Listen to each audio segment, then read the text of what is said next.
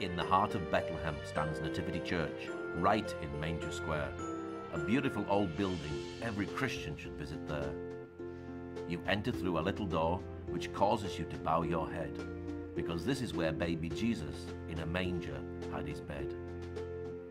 You see columns inside standing proud and tall, and on the floor mosaics make sure you see them all. You can light a candle and speak to God in prayer. Share your heart with Him. You know He's always there. Then you go down into the grotto and see the place of Jesus' birth, where baby Jesus was born, God's gift from heaven to earth. And as you turn, there's the manger, where the holy baby was laid. Placed in the straw, a little bed was made. Shepherds and kings visited. God led them to this site. They met the baby Jesus. It was a happy night. And today Nativity Church stands as a testimony to this event. A baby born in Bethlehem, and he was heaven sent.